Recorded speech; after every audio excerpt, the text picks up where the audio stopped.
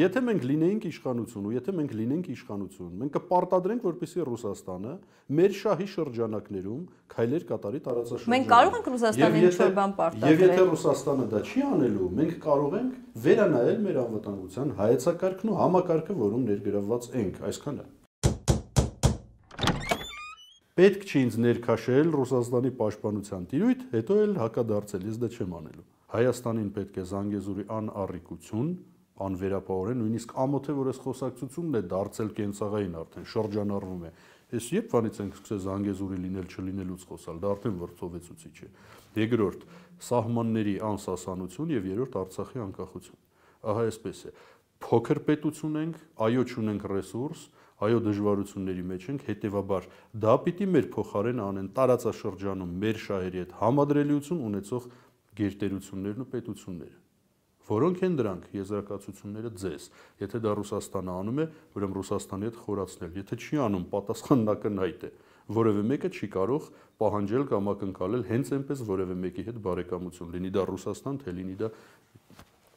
Զիմբաբվե։ Բա պետություն դու պետություն, դու ինչու դրանով չես զբաղվում։ Հիշում եմ պահ, երբ վարչապետը այն ժամանակ իմ գործընկերն դիմադիր падգամավորը զանգում էր ասում էր չգնանք այս ինչ օրը հանրավակի վեր ենք գնում եւ գնում էինք։ Պարոն Ուրիխանյան, եթե ոչ դիվանագիտական պատասխան տակ, ինչու եք դուրս եկել Բարգավաճ Հայաստան խմբակցությունից։ Եթե ոչ դիվանագիտական պարզ ոչ դիվանագիտական պատասխանը նույնիսկ ազգային ժողովի ամբիոնից Պարզ մի քանի բառ։ Որովհետև լավ չի եղել, վատ է եղել։ Դա դիվանագիտական պատասխան է։ Դա դիվանագիտական պատասխան է։ Այսինքն դա շատ լայն, ավելի պարզ Ինչ անենք ԲՀԿ-ի հետ միանանք։ Չգիտեմ, այլ ուժի հետ։ Որ ուժի։ Դուք ասեք։ Ես հարցնում եմ։ Դուք ասեք, որ ուժի հետ է հնարավոր, որ ուժի հետ հնարավոր չի։ Դե հիմա ասեմ, հետո պետք է բռնեք ասեք, սենց չի, նենց հա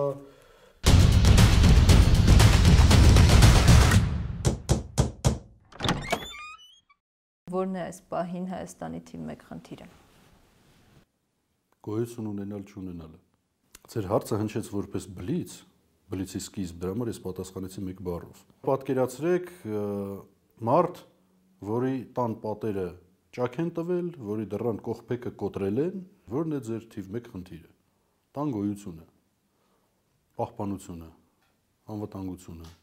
ապահովությունը, Իսկ դա ինչ է, դա էգզիստենցիալ խնդիր է։ Պարոն Ուրիխանյան, ձեր քայլերը կամ դրանց բացակայությունը որքանով են նպաստում այդ խնդրի լուծմանը։ Դուք նկատի ունեք մի падգամավորի, որը ունի շատ կոնկրետ սահմանադրական դրույթներով ամփոփված լիազորություններ։ Խորհրդարանում գրել օրենքներ,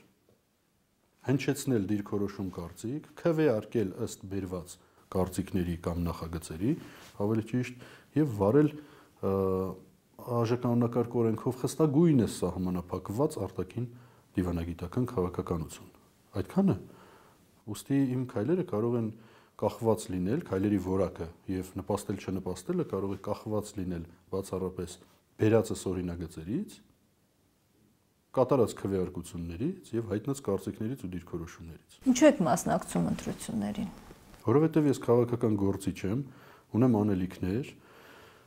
ակամայից ի դեպ այնպես չէ որ հոժարակամորեն հայտնվել եմ այս ոլորտում 10-րդ տարին է արդեն խորհրդարանում եմ երրորդ գումարման ազգային ժողովում եւ շատ եմ ափսոսում որ կան բաներ, որոնք սկիզբ են առել, ունեն հավանականություն լուծվելու, իրականացվելու, բայց չեն լուծվել դեռևս։ Այդ թվում մի շարք օրենքներ։ Պարզ մի օրինակ, 80 միլիոն դրամ մենք մենք ասելով նրանք ազգային ժողովում հնարավորություն ունեին տարեկան կտրվածքով փոխանցելու թվով 114 վերջին պատերազմի ժամանակ հաշմանդամ դարձած երիտասարդներին իմ օրինագծի բերմամբ, որը սահմանում էր պատգամավորական վճարներին ի հավելումն, աշխատավարձինի հավելում ընտրվող գումարների հաշվին փոխանցում կատարել օրենքի ուժը, որտեղ դա օրենքով կարգավորող վճար է, բայց դա տեղի չունեցավ։ Հիմա ես պիտի ցավով ավարտեմ այս գումարման աշխատանքը, որովհետև այդ տարական բարոյական բարոյական նախևառաջ գումարը դեռ մի կողմ դրած քայլը չիրականացվեց։ Միջդեռ իրականանար, հետո կհպարտանայինք մեր երեխաների մոտ, որ գոնե մեզանից գոնե մի փոքր մի բան կտրել են, գոնե ուշադրության ձևով փորձել ենք անել։ Հիմա սա սա վերջինն էր, ուղղակի բերեցի այդ օրինակը, ափսոսում եմ, Եթե ժամանակ լիներ, նորից կդնեի շրջանառության մեջ։ Այսինքն կիսատ թողած գործեր ունեք, կարծում եք։ Ամեն ինչն է այս երկրում կիսատ։ Ամեն ինչն է կիսատ։ Կոտրված, ջարդրտված փողոցներից, չներկված ժանգոտած լուսալապտերային սյուներից սկսած աղբամաններում որևէ պիտանի բան փնտրող մարդկանցով ներառյալ եւ վերջացած ամփույթ ուրիշ բառի ուզում ասեի կոռեկտ փոխակերպեմ անպարկեշտ, անպատասխանատու եւ անմակարդակ պետական եւ այլ պաշտոնյաներով ու կառավարիչներով վերջացրած։ Ընդ որում դա նոր չի, որ այդպես է, դա երկար ժամանակ է այդպես է։ Միանգամից դատապետ ենք սրանով եւ հներին եւ ներկաներին, որ հանգարց որևէ մեկը այլակարծություն չունեն այս հարցում։ Ձեր ամենակարևոր առանձնահատկությունը ո՞րն է ձեր ուժի։ Ենթադրենք քաղաքացին պիտի գա ընտրի, ձեր ծրագրային ամենաառանցքային առանձնահատկությունը, որ կարող եք ասել մենք տարբերվում ենք։ Քաղաքական ուժի առանձնահատկությունը դա կանխատեսելիությունն է։ Մենք հիմա շատ ունենք քաղաքական ուժեր մասնակից, 20-ից ավել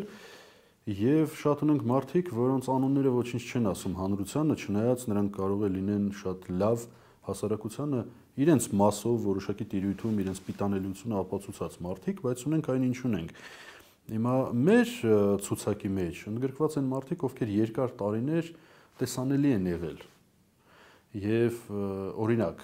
եթե դուք տեսել եք 10 տարի ազգային ժողովում Տիգրան Ուրիխանյանի քվեարկությունները կամ օրինագծերը 10 տարի,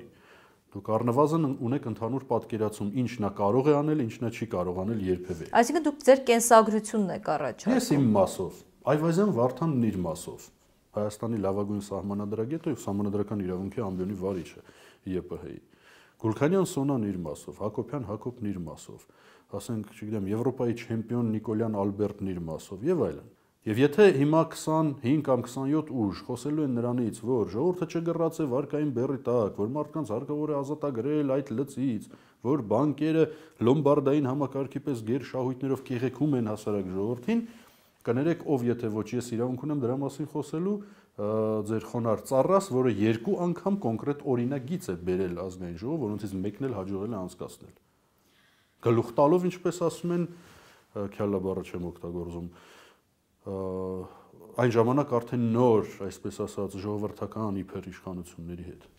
Պարոն Օրիխանյան, ընտրությունը շատ կարևոր է, թե դուք շատ ճիշտ նշեցիք, թե ով է ասում եւ նաեւ ինչ է ասում։ Ձեր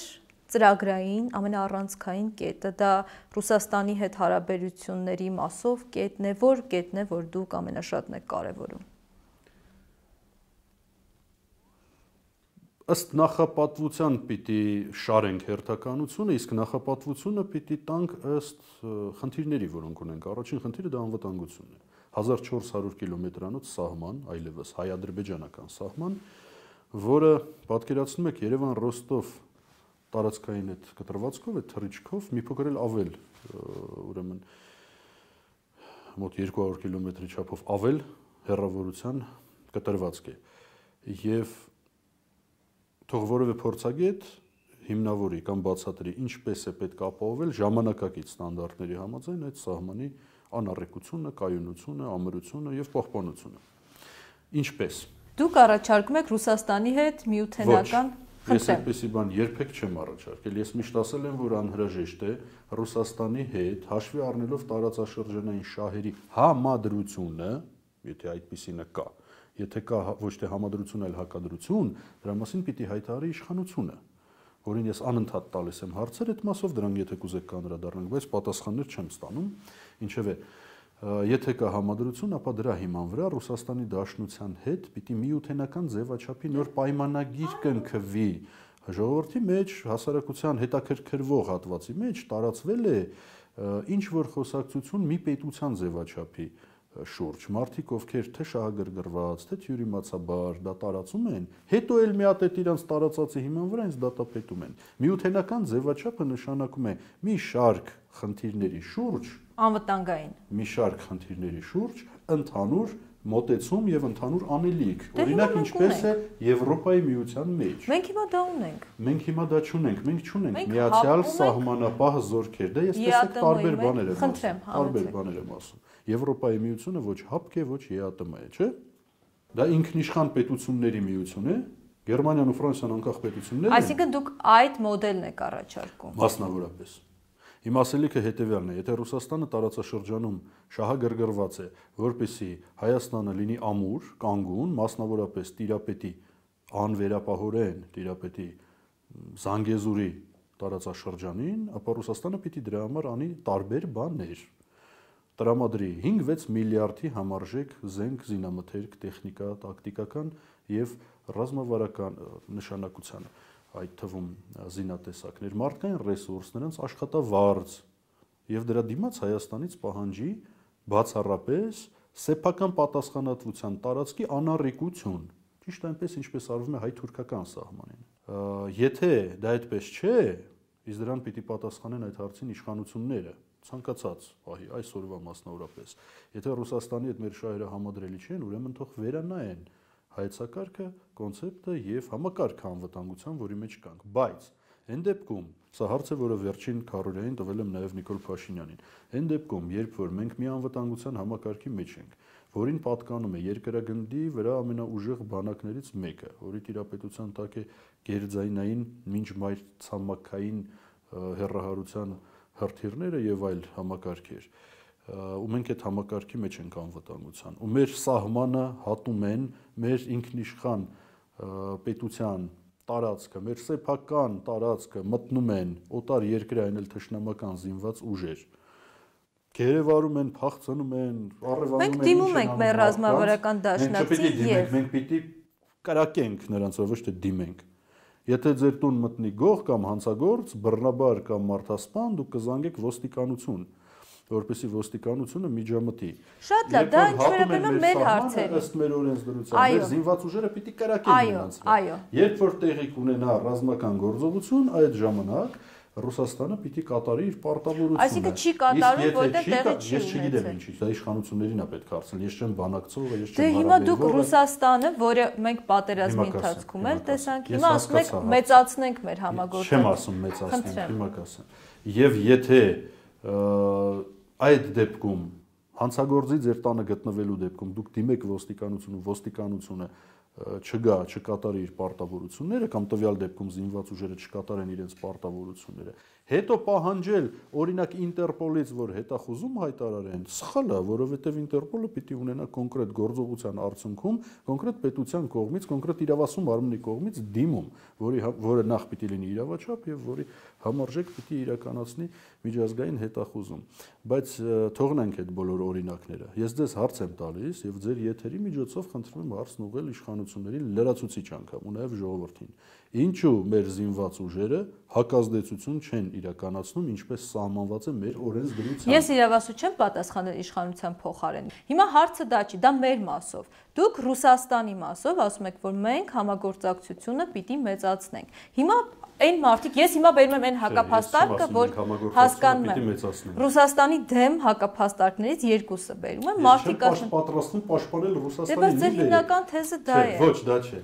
Իմ հիմնական թեզը հետեւյալն է որ եթե մենք լինեինք իշխանություն ու եթե մենք լինենք իշխանություն, մենք կպարտադրենք, որպեսզի Ռուսաստանը մեր շահի շրջանակներում քայլեր կատարի տարածաշրջանում։ Մենք կարող ենք Ռուսաստանին ինչ-որ բան պարտադրել։ Եվ եթե Ռուսաստանը դա չի անելու, մենք կարող ենք վերանայել մեր անվտանգության հայեցակարգն ու համակարգը, որում ներգրավված ենք, այսքանը։ Այսինքն ուզում լինի Ռուսաստան, ուզում լինի Ճապոնիա, ուզում լինի Աֆրիկա թե Կորեա,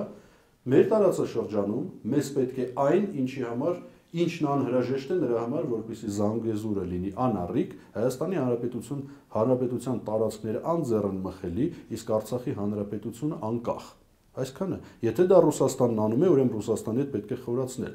հարաբերություններ բնականաբար։ Եթե դա կանի Ամերիկայի Միացյալ Նահանգները, ՆԱՏՕ-ի ալյանսը չի անում Ռուսաստանը։ Եթե դա կանի ՆԱՏՕ-ի ալյանսը, ուրեմն սկսեք խորհրդակցություններ եւ արագ ձևավորեք համակարգ ՆԱՏՕ-ի ալյանսի հետ կամ Չինաստանի կամ մեկ ուրիշի։ Իմ ասելիքը սա է։ Պետք չի ինձ ներքաշել Ռուսաստանի պաշտպանության տիրույթ, հետո էլ հակադարձել, ես դա չեմ անելու։ Հայաստանին պետք է Զանգեզուրի անառիկություն, անվերապահորեն, նույնիսկ ամոթե որ այս խոսակցությունն է դարձել կենցաղային արդեն շրջանառվում է։ Այս երբ բանից ենք սկսել Զանգեզուրի լինել չլինելուց խոսալ, դա արդեն վրթովեցուցիչ է։ Երկրորդ, սահմանների անսասանություն եւ երրորդ Արցախի անկախություն։ Ահա այսպես է փոքր պետություն ենք, այո չունենք ռեսուրս, այո դժվարությունների մեջ ենք, հետեւաբար դա պիտի մեր փոխարեն անեն տարածաշրջանում մեր շահերի հետ համադրելիություն ունեցող գերտերություններն ու պետությունները որոնք են դրանք եզրակացությունները ձեզ եթե դա ռուսաստանը անում է ուրեմն ռուսաստանի հետ խորացնել եթե չի անում պատասխանն ակնհայտ է որևէ մեկը չի կարող պահանջել կամ ակնկալել հենց այնպես որևէ մեկի հետ բարեկամություն լինի դա ռուսաստան թե լինի դա զիմբաբվե Էլ ինչ առանձնահատկություն կարող եք առանձնացնել ձեր ծրագրային կետերում։ Չի կարող Հայաստանի Հանրապետությունը ունենալ ապագա նույնիսկ 1-2 սերունդի ժամանակային կտրվածքով ապագա, եթե մենք ճունենանք պարտադիր առողջապահական ապահովագրություն։ Եթե մարդիկ ստիպված չլինեն ու ժամանակի ընթացքում ճունենան այդ, չգիտեմ, ինչպես ասեմ, բնավորությունը կամ մշակույթը, կուլտուրան, կանխարգելման եւ ամբուլատոր բուժման ժամանակակից միջոցներից օգտվելու հետևաբար հիվանդացության մակարդակը մի քանի անգամով գցելու, իջացնելու, պետական ու սեփական միջոցներ դրա վրա չվատնելու, որովհետև մենք հասկանում ենք, որ պրոֆիլակտիկան շատ ավելի հեշտ է, անցավ է, եւ մեղմ ասած մաչելի, քան հետո հիվանդությունների այն էլ ծանր աստիճանների, ծանր ստադիաներում բուժումը ցավոք սրտի շատ ժամանակ մահացու ելքով հետեւաբար պարտադիր առողջապահական ապահովագրության ներդրումը պետական մասնակցությամբ անպայման դա առաջնային կետերից մեկն է եթե ընտրողի եւ աստծո կամոք մենք հայտնվենք հանկարծ իշխանության տիրույթում տիրապետենք դրան ապա թոշակները մեր բոլոր թոշակառուների համար անմիջապես բարձրանալու են 13-ից 15%։ Ժամկետ ասեք։ 1 ամսվա կտրվածքով։ 1 ամսվա ընթացքում որքան։ Հարցրեք ինչպես։ Ինչի հաշվին։ Պատասխանում եմ։ Մենք ժամանակին դեմ ենք եղել պարտադիր կൂട്ടակային կենսաթոշակային համակարգի ներդրմանը։ Դեմ է եղել նաև ներկայիս իշխանությունը։ Հիշում եմ պահ, երբ վարչապետը այն ժամանակ իմ գործընկերым դիմադիր падգամավորը զանգում էր ասում էր չգնանք այս ինչ օրը հանրավակի վեր ենք գնում եւ գնում էինք։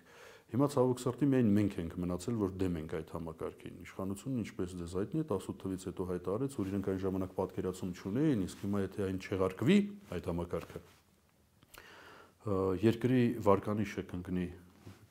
ավստրիական թե չգիտեմ որ ֆոնդերի մոտ կարող է հանգարց վատ մտածեն մեր մասին ես անձամբ կարծիք ունեմ որ մեր մասին վատ են մտածում երբ որ սովից զկրտում են մեր թոշակառուները կամ մետաղադրամ են հաշվում դեղատանը որպեսի մի երկու կոճակ ասպիրին ավել կամ պակաս կարողանան առնել եւ առաջին հերթին մենք պիտի ամանչենք մեր քաղաքացիներից նախ եւ առաջ, հետո նոր թե ինչ կմտածեն մեր մասին արտասահմանցիները, թող որ մեր երկրացիները լավ ապրեն, իսկ լավ ապրելու համար տարեկան ամսական, ներեցեք, ամսական 35 միլիարդի հասնող գումար փոխանցվում է այդ ֆոնդերին։ Այո, եթե մենք լինենք իշխանություն, այն անմիջապես կչեղարկվի եւ այդ 35 միլիարդի հաշվին կավելանան թոշակները, իսկ այն բոլոր կൂട്ടակված գումարների շուրջ այս տարիների ընթացքում ունենալու ենք վեճ, որովհետեւ ես կարծում եմ, եթե կա պետություն իր օրինակ էկոնոմիկայի նախարարությամբ համապատասխան ինստիտուտներով, ենթակառույցներով, վարչություններով ու մասնագետներով հանդերձ, որոնք լափում են ժողովրդի առանց էլ սուղ միջոցներով աշխատավարձները աշխատելով ու զբաղվելով ոչ մի բանությամբ, դրանք կարող են գծագրել, նախագծել, ստեղծել, հեղինակել եւ իրականացնել այնպիսի առևտրային ձեռնարկությունների ցանցերի կամ արտադրական, արդյունաբերական միավորումների ստեղծում եւ արդյունավետ աշխատանքի ընթաց, գործունեություն ընթաց Հայաստանում, որոնք այդ գումարների ներդրմամբ, ահռելի գումարների ներդրմամբ, որոնք կբերեն եկամուտ։ Եվ ընդհանրապես տնտեսական կառավարման կարգերի վերաբերյալ ես ցենտրիստ եմ ու համարում եմ, եթե մեկ մարդ առանց ակադեմիական լուրջ ու մասնագիտական կրթության, մեղմ ասած, կարող է Հայաստանում ստեղծել սուպերմարկետների ցանց, որը կդառնա խոշոր հարկատու, այդ նույն բանը կարող է կազմակերպել պետությունը, կամ եթե որևէ մեկը կարող է ձեռնարկել արտադրություն, դա կարող է նաև անել պետությունը։ Լինի գյուղատնտեսություն, թե թե արդյունաբերություն, թե առավել եւս ծանր։ Այստեղ լիբերալները հակադարձում են ասում են, որ այդ դեպքում մարդիկ շահագրգիռ չեն, երբ որ պետական է, ու լավ չեն աշխատում, գողանում են, թերանում են եւ այլն։ Այստեղ էլ ես բերում եմ Չինաստանի օրինակը, որտեղ գնդակահարում են նրանց, ովքեր թերանում են կամ գողանում են։ Ես կողմ եմ պետական պատժիչ օրենսդրությանը բոլոր թերացողների համար, ու դա նախ եւ առաջ պիտի արտահայտվի աշխատավարձով, ու մեր հաջորդ դրույթներից մեկը պրոգրեսիվ աշխատավարձի ներդրումն է։ Եթե դուք աշխատում եք օրինակ համատիրությունում եւ տալիս եք տեղեկանք օրական 100 մարդու, դուք պիտի ստանաք 10 անգամ ավել աշխատավարձ, քան այն մարդը, որը մեկ գավաթ սուրճ է ըմպում, հետո ընկերու հետ է զրուցում։ Այսինքն ըստ անհատական արդյունավետության ավելի բարձր։ Եթե դուք ունեք գյուղատնտեսության նախարար, որի գործունեության արդյունքում կես տարվա կամ 1 տարվա կտրվածքով կտրուկ աճել է բնապահպանական վիճակը Հայաստանում, գյուղատնտեսական ցուցանիշները, որտեղ դե երկու ոլորտներն իրար հետ են, տնկվել է մի 10 միլիոն ավել ծառ, փրկվել են մի 100 լիճ ավել կամ ստեղծվել է վերգետնյա ռոռոկման ջրային ցանց ջրամբարներով, իսկ դա մեր գյուղատնտեսական ծրագրի առանցքային դրույթներից մեկն է։ Ուրեմն այդ նախարարը պիտի ստանա 10 անգամ ավել աշխատավարձ։ Պարոն Ուրիխանյան, շնորհակալություն։ Բայց եթե առողջապահության նախարարն ավարտում եմ ձեր թույլտվությամբ, չի նվազեցրել մահացությունը, չի կատարելագործել առողջապահական համակարգը եւ այլն եւ այլն ցուցանիշներ չկան, ուրեմն նրա աշխատավարձից պիտի լինեն պահումներ։ Ով է գնահատելու դա։ Դա դա դժվար, տեսեք, ցուցանիշները դուք հիմա համատիրությունից սկսած մինչև ամենաբարձր պաշտոնի։ Այստեղ էլ շատ ռիսկ է։ Մարդը կասի, գիտեք ինչ, ես հիմա անում եմ քայլեր, որոնք այս պահին գուցե տեսանելի չեն, բայց ես հերու հետոյի համար եմ արել այս քայլ։ 5 տարի հետո դուք շոշափելու արդյունք եք տեսնելու։ Իսկ այսօր ինձ ասում եք, գիտես, լավ չես աշխատում։ Դրա համար որոշ ծառայությունների դեպքում ես նշեցի 6 ամսուց սկսած, իսկ որոշ գերատեսչությունների մասով միջև 1 տարի ժամանակի կտրվածքով։ Վերջապես գոյություն ունի շատ կոնկրետ ու adekvat ընկալում քաղաքացու կողմից քաղաքացու համար։ Քաղաքացին այս պահին բանն է գնահատում։ Երևանի քաղաքապետ դուք հասկանում եք, որ 1 շաբաթ հետո բոլոր փողոցները պիտի ունենան գծանշումներ, 1 շաբաթ։ Երկու տարի հետո չի կարող լինել։ Եթե պիտի ավտոբուսային տրանսպորտային ցանցը փոխվի, ապա այն կարող է փոխվել 3 ամսվա կտրվածքով, ոչ թե 5 տարվա կտրվածքով եւ այլն։ Ու կարճ ժամանակ անց տարանջատում ենք որներ սուտ, որն է աշխատանք։ Պարոն Օրիխարյան, դուք կարևոր բան ասացիք, այսինքն ընդհանրապես ծրագրերը շատ կարևոր է որ լինեն հստակ եւ ստուգելի։ Որքան լղոզված են խոստումներն ու ծրագրերը, այնքան դժվար ստուգելի են դրանք։ Հիմա դուք ասում եք, որ մենք մի ամիս հետո բարձրացնելու ենք աշխատավարձը եւ ասում եք, որ ասում եք որքան եք բարձրա։ Աշխատավարձը չէ, թոշակները։ Շատ լավ։ Չեղարկվելով, չեղարկվելով պարտադիր կուտակի բաղադրիչ։ Էլ ինչ կետեր կան, որոնք այսպես շոշափելի եւ տեսանելի են։ Ենթադրենք, չգիտեմ, երկու ամիս հետո եկեք մեզանից պահանջեք, որ սա լինի։ Հրաշալի հարց։ 8 ամսվանից մինչև 1.5 տարի, մինչև 1.5 տարի կտրվածքով ապավելու ենք 15000 աշխատատեղ, եւս 2 տարվա կտրվածքով դրանք դառնալու են 35000։ Ինչի հաշվին։ Հիմա կասեք ինչպես։ Ես էլ կասեմ ձեզ այսպես. փորձեք պատվիրել որևէ երակցողի ծառայություն ձեր տաղավարում կամ ձեր բնակարանում կամ ձեզ հետ կապ ունեցող որևէ մի գործի բերումով եւ դուք կտեսնեք ինչքան ինչ գումար ու ինչ ժամկետ կնշի ձեզ այդ երակցողը։ Հետո եթե դուք որևէ հայտարարությունների կայքում կամ ինչ որ մի համարժեք տիրույթում փորձեք գտնել մրցակցություն այդ մասնագիտության հետ կապված, կարող են բերել կահույքագործ, կարող են բերել փականագործ, կարող են բերել խառատ, կարող են բերել, չգիտեմ, սալիկապատողից սկսած մինչև ավտոտեղ սպասարկող, ել չասած այդ ամեն մի ուղղության որակյալ բարձր կվալիֆիկացիայի ունեղ մասնագիտական ուղղվածության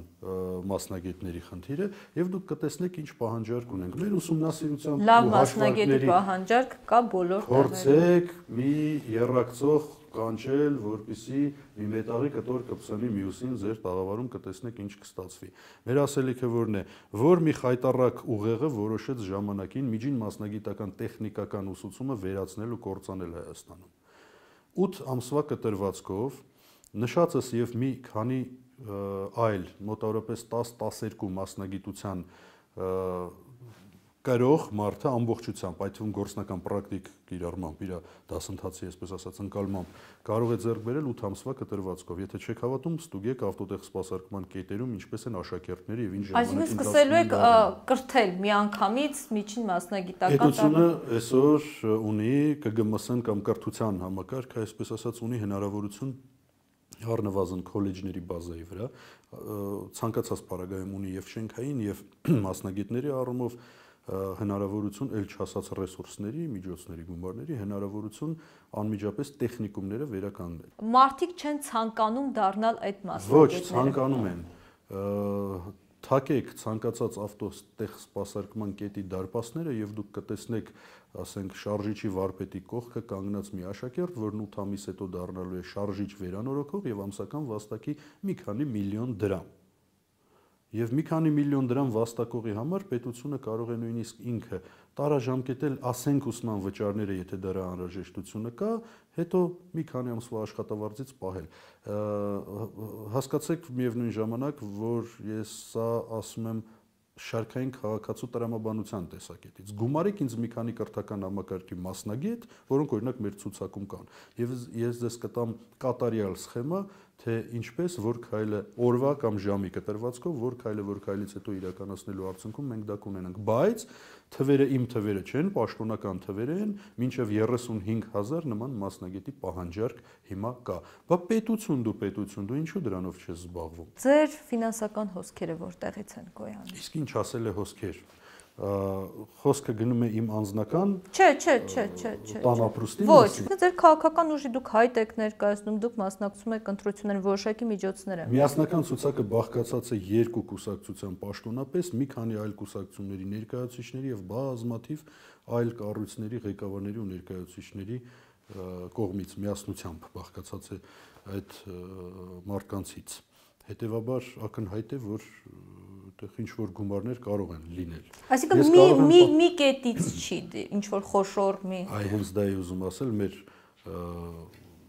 Հայաստանը մեր տունն է միասնական ցուցակի մաս կազմող ներեցեք ալյանս կուսակցության մասով մենք աշխատել ենք միշտ հետեւյալ բանաձևով յուրաքանչյուրից մեկական դոլար 100 հոգուց մեկական դոլար 100 դոլար ավելի նախապատվելի է քան 1 հոգուց 100 դոլար դա դժվար է բայց իրագործելի է մեր թիմում կան մարդիկ, որոնք ունակ են մեկական դոլար կամ մեկական դրամ, բերեք ավելի հայցի դարձնենք մեր արժույթային զրույցը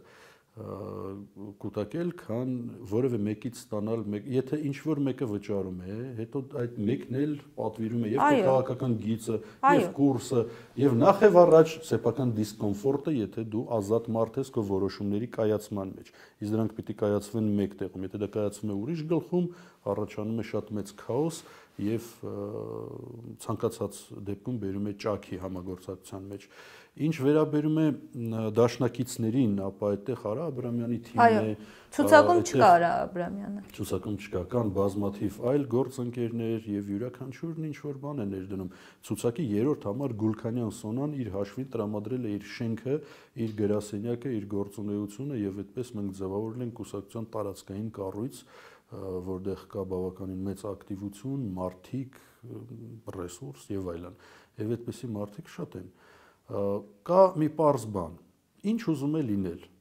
ինչպես ուզում է լինել։ Առնվազն ԲՀԿ-ի հետ իմ համագործակցությունը ապացուցել է տարիների ընթացքում եւ ապահարզանը իր երթին ապացուցել է քաղաքացու ընտրողի համար, որ գումարը չի կարող իմ պարագայում լինել ոչ միայն որոշիչ, այլև նույնիսկ էական կարծիք ձևավորող։ Պարոն Ուրիխանյան, եթե ոչ դիվանագիտական պատասխան տակ, ինչու եք դուրս եկել Բարգավաճ Հայաստան խմբակցությունից։ Եթե ոչ դիվանագիտական ոչ դիվանագիտական պատասխանը նույնիսկ ազգային ժողովի ամբիոնից։ Պարզ մի քանի բառ։ Որովհետև լավ չի եղել, վատ է եղել։ Դա դիվանագիտական պատասխան է։ Դա դիվանագիտական պատասխան է։ Իսկ ոչ Այսինքն դա շատ լայն པարզ, այսինքն լավ չի։ Բոլոր 2015 թվականին, երբ որ մենք էինք վարում հանրահավաքներ ամբողջ Հայաստանով մեկ, հիշում եք, հավանաբար նաև լուսաբանել եք, եւ ձեր խոնար ծառան առաջնագծում էր քաղաքական, այսպես ասած, վարում էր այդ հանրահավաքները, Մասնավորապես ես ասում եի, որ մենք թույլ չենք տա համանadrական ավանցուրը իրականացում, որպեսզի հանրապետականը վերարտադրվի, Սերժ Սարգսյանը գնա երրորդ ժամկետ, հետո տեղի ունենան ինչ որ տեղի ունեցավ, հավանաբար մենք դեմ ենք քվեարկելու այդ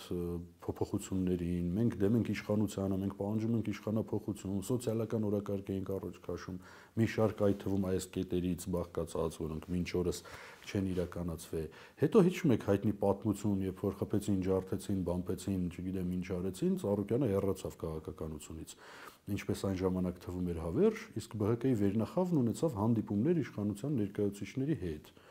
եւ դրանից հետո տեղի ունեցան կտրուկ փոփոխություններ եւ այդ խմբակցությունից 1 հոգի է վերադարձել ազատության հրապարակ եւ քվեարկել այնպես ինչպես 1 հոգի այնպես ինչպես հայտարարում էր հրապարակում առանց ավելորդ անհամեստության դա ես էի։ Եվ ես իրավունք ունեի արդեն այդ պահից ունենալ ԲՀԿ-ի հետ անհամաձայնություն։ Հենց այդ պահից եմ դուրս եկել ու ստեղծվել է Ալյանս կուսակցությունը։ Երբ 17 թվականին Զարուկյանը խմբակցությունից ավելի ուշ եք դուրս եկել։ Հենց այդ պահից, երբ Զարուկյանը անակնկալ կերպով վերադարձավ քաղաքականություն, պիտի խոստովանեմ, որ սխալ թույլ տվեցի եւ համաձայնեցի դաշինք կնքել։ Ալյանսն ու ԲՀԿ-ն դաշինք կնքեցին եւ մենք գնացինք խորհրդարան մեկ միասնական դաշինքի ցուցակով ու կազմով, որովհետև ես հավատում էի, որ Ծառուկյանը ու ԲՀԿ-ի մնացորդները տարբեր բաներ են, հակառակ դեպքում ԲՀԿ-ի մնացորդները չէին Դավաճանի Ծառուկյանին այն ժամանակ եւ չէին տեղափոխվի ու տեղափոխի իրենց դիրքորոշումը։ Բայց հետո պարզվեց, որ դա այստեղ կոռեկտության ճիրաններն եմ ուզում ընկնել, բայց չի ստացվում։ Պարզվեց, որ իմ ակնկալիքները միամտության դաշտից էին, այսպես ասեմ։ Ու տեղի ունեցավ այն, ինչ տեղի ունեցավ։ Տեղի ունեցավ արտահերթ ընտրություն, իշխանապողություն կամ հեղափոխություն, ինչպես ուզում եք անվանեք, իշխանության փոխանցում կամ չգիտեմ, ոնց է ձեզ հուշում դրամաբանությունը, ընտրություններին անհրաժեշտ էր մասնակցել Ալյանսը ընտրություններին մասնակցելու ոչ միայն պատրաստ չէր, այլ նույնիսկ հարցեր դրված կուսակցության լինել չլինելու, որովհետև մենք այդ դաշինքային փոխգործակցության պատճառով հայտնվել էինք մեր սեփական կուսակցության փշուրների վրա։ Ու այդպես ես հայտնվեցի ԲՀԿ-ի նախընտրական ցուցակում, բայց ոչ ԲՀԿ-ի կազմում վճռական որոշմամբ խմբակցությունից դուրս գալու, ինչն էլ դրանից հետո տեղի ունեցավ։ Այսինքն ընդհանրապես միջոց էր մասնակցության համար։ Այլ միջոց ուղղակի չկար։ Այս անգամ կարող եք այդ միջոց հնարավոր է որ նորից կիրառեք միանակ։ Կարող լինել, որովհետև մենք գնում ենք մեր սեփական ցուցակը։ Չէ, հասկանալի է, հետո միանակ։ Եթե մեծամասնություն չձևավորվի այս դեպքում։ Ինչ անենք, ԲՀԿ-ի հետ միանանք։ Չգիտեմ, այլ ուժի հետ։ Որ ուժի։ Դուք ասեք։ Ես հարցնում եմ։ Որ։ Դուք ասեք, որ ուժի հետ է հնարավոր, որ ուժի հետ հնարավոր չի։ Ոչ մի ուժի հետ հնարավոր չի, որը չի անելու այն ինչ որ մենք ենք ուզում։ Այսինքն որևէ ուժի հետ հնարավոր է միանալ, եթե պայմանները դուք թելադրեք։ Պայմաններից մեկը Հայաստանի հողերը չծախելն է։ Ստվերային պայմանավորություններ չունենալն է, ժողովրդին չդավաճանելն է։ Պայմաններից երկրորդը՝ բոլոր տված խոստումները կատարելը կամ փորձել կատարելը։ Եթե մարդ կա, որ ասել է կարմիր գիծ ու արագաչափ պիտի հանենք ու հետո չի հանել, այդ մարդու հետ համագործակցելը դժվար է լինելու կամ չի լինելու։ Պայմաններից երրորդ՝ այդ ուժերից որևէ մեկը չպիտի լինի ոչ նախկինում, ոչ հիմա առատավորված։ Պարզ է էլի, որ նախկինների գրկում չենք հայտնվելու ոչ էլ կողքին։ Իսկ 3 տարի քննադատում է ներկաներին նրանք ովքեր աստծո կամոք կամ ընտրողի կամոք կհայտնվեն խորհրդարանում, որոնք գործընկեր ուժեր են, մենք նրանց հետ կհամագործակցենք։ Օրինակ այդպիսի քննարկումներ մենք ունեցել ենք, ունեցել ենք տարբեր հայտ ներկայացրած քաղաքական ուժերի հետ եւ որոշ հայտ չներկայացրած քաղաքական ուժերի։ Անուններ չեք։ Օրինակ Զարթոնքի հետ։ Օրինակ հայրենիքը հայոցի հետ եւ այլն։ Բայց ոչ ԲՀԿ-ի կամ նախկինների կամ ներկաների։ Պարոն Ուրիխանյան, մենք ունենք բլից հարցեր, մեր տաղավարում դուք կարող եք մի քիչ ավելի երկար պատասխանել այս հարցերին, եթե ցանկանաք։ Որն է ձեր ամենասիրելի երգը։ Դրանք շատ են ամենը։ Մեկը որ հիմա ձեր մտքին կգա, լավ, այսպես։ Ուսանողական տարիներից ես տվայտվել եմ այդ հարցի շուրջ, մտորումների մեջ տանջվել եմ եւ չեմ որոշել։ Դա իմ համար լուրջ խնդիր ա եղել այն ժամանակ։ Ես մտածում եմ, այս երկրն եմ շատ սիրում, թե ինձ եմ շատ սիրում։ Ու հետո ինքս ինձ այդ բանավիճում էի, քննարկում էի, տանջվում էի, այ մրտասում էի, բայց չէ որ ես ավելի հաճելի է, ավելի լավն է, բա որ ես ավելի լավն է, բան չէ, մեն մեկը ավելի շատ լսում, բայց հետո